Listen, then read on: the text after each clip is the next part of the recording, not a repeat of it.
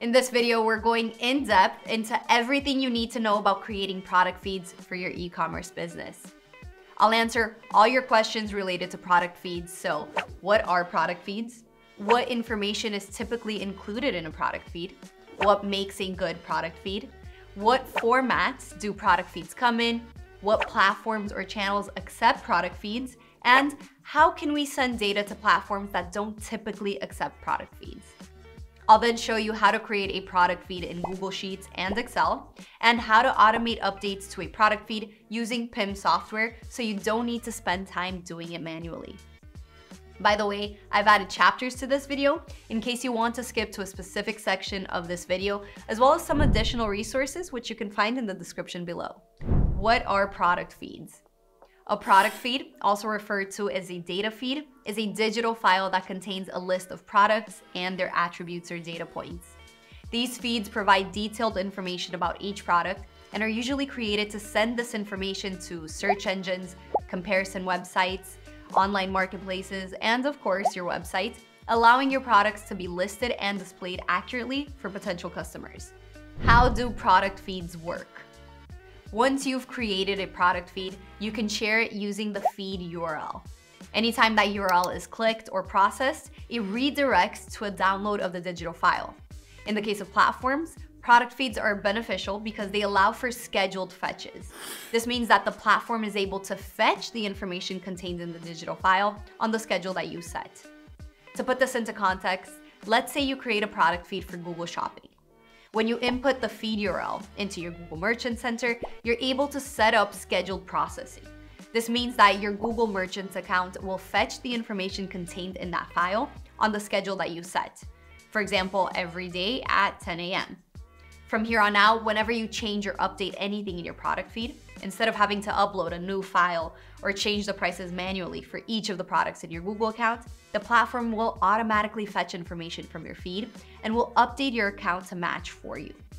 It's very simple as long as you keep the information in the feed accurate and up to date. What information is typically included in a product feed? Product feeds contain information that's relevant to the receiving end. That's to say, no two product feeds are the same. A product feed for Shopify, for example, would include details that aren't relevant for a product feed meant for Amazon or for your retail partner. Still, product feeds typically contain product attributes such as product ID, which is the unique identifier for each product, like an SKU or a GTIN, the product title, which is the name of the product as it should appear on the platform, Product description, a lot of platforms have specific requirements there, so it's beneficial to check and adapt your descriptions accordingly. Image URLs, which are the links to the product's images. Price, naturally how much your customers can buy your product for. Availability status, which indicates if your product is in stock, out of stock, on pre-order, and so on. Category, which is a category or section that your product belongs to. And brand, the manufacturer brand of the product. Of course, this is just a basic list to get you started. The good thing is that most platforms provide a template that you can follow so that you can ensure that you have all of the necessary information in your data feed. What makes a good product feed? Now, a great product feed is one that has detailed, accurate, and up-to-date information formatted to the endpoint specifications. Let's break that down. Accurate data. The information you include in your data feed should be accurate. Mistakes in price, availability, or descriptions can lead to lost sales or a damaged brand reputation. Up-to-date data. The information in your feed should be updated frequently to reflect changes in product availability, prices, or any other important information like image links. Consistent formatting. This helps in the seamless processing and integration of the feed into different platforms.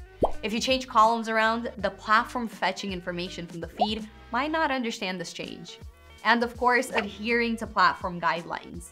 Different platforms have specific requirements, so making sure that your feed aligns with these guidelines helps avoid errors in processing the feed.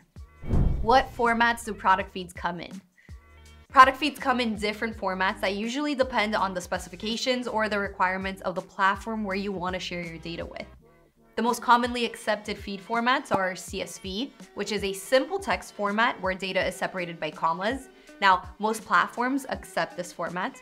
XML, which is a structured format commonly used for web-based platforms. XLS or XLSX, which is a Microsoft Excel extension where data is formatted with rows and columns, and JSON, which is a standard text-based format based on JavaScript object syntax. It's also commonly used in web applications. What platforms or channels accept product feeds natively? Some channels are able to digest a feed directly, meaning that you just go to their website, you paste the feed URL, and the system will be able to process that feed. Some of these platforms include Google Shopping, both the Merchant Center and the Manufacturer Center, Meta Business Suite, so Facebook and Instagram, Bing product ads, Miinto, Price Runner, Snapchat ads, TikTok ads, and more. For a full list of platforms and the formats that they accept data in, you can check out our channel guide ebook in the description. Other platforms can accept a feed but require a third-party plugin, which brings us to how can we send data to platforms that don't typically accept product feeds?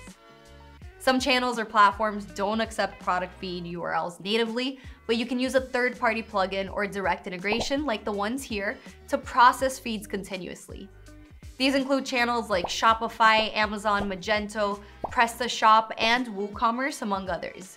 Now that you know all about what product feeds are, let's look at how to create one in Google Sheets and Excel. And after that, I'll show you how you can automate updates to your feeds so that they're always up to date and accurate. Creating a product feed in Google Sheets is a straightforward process. The first step is getting your product data into your Google Sheets document. You'll want your first row to be your identifier row, with each cell identifying what information the rest of that column will contain and each row after that will represent a product. Once you have all of your information in your Google Sheets, you'll want to click on File, then Share, and Publish to Web.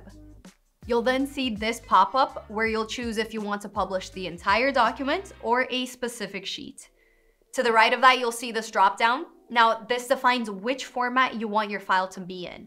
Remember, some platforms only accept CSV format, Others only accept XLSX formats or something else entirely. The format you should choose depends on where you're planning to use the feed. If you click here below, you'll see an extended menu where you can restrict access to the document and define if you want to republish the document whenever changes are made. Make sure that this box is checked. When you're ready, hit publish and a URL link will appear. This could take some time depending on how much information you have in the document. Now just copy that link and share it with whomever or wherever you want. Creating a product feed URL with Excel is pretty similar. Here you can see how I do it using the online version, which is pretty similar to, if not exactly the same, as how you do it with the application. Once you have your data ready, click on File, Share, and choose Copy Link to this workbook. You can then copy the URL link directly, or if you click down here, you can adjust that permission settings. Now, there are two big problems when it comes to creating feeds with Excel or with Google. The first is that Excel, for example, will only create a URL link to the Excel workbook, so in XLSX format. And if anyone's figured out a way to change that URL extension, please let me know. The second and probably the biggest problem is that you still need to keep those individual feeds up to date. Depending on how many products and how many feeds you have, this can mean countless hours of manually updating values on each cell on each feed. To get around this, you can use Plytix, which is a type of software used to manage all of your product content, but that also has a feed creation feature that's slightly different but way more efficient than any normal spreadsheet. With Plytix, all of your product data lives in one centralized location, and the idea is that whenever any information changes, be it a product's price, its description, or even its image gallery, you only need to update that information once in one location, and it gets updated across all of your feeds. As you can see here, we have a bunch of products with their corresponding attributes. When you create a data feed in Plytix, all you need to do is select the attributes or the building blocks that you want to use to create your feed like this, and which products you want to pull this information for. And Plytix will then automatically pull the information for those building blocks directly from the information that you have stored in your Plytix account. You can create as many feeds as you want and then set them to automatically update to reflect the latest data on a set schedule. This way, instead of needing to copy and paste information over to each spreadsheet, you only do it once from your main Plytix account. All you need to do is share the URL link that's generated after you process your feed or your channel for the first time. And there you have it. everything you need to know about creating product data feeds for your business. Don't forget that you can download a list of channels and the import formats that they accept by checking out the description of this video. If you have any questions, let us know in the comments. And if you want to learn more about e-commerce and product data management, subscribe to our channel. Yes, lo hice. For potential buyers, customers. Blah, blah.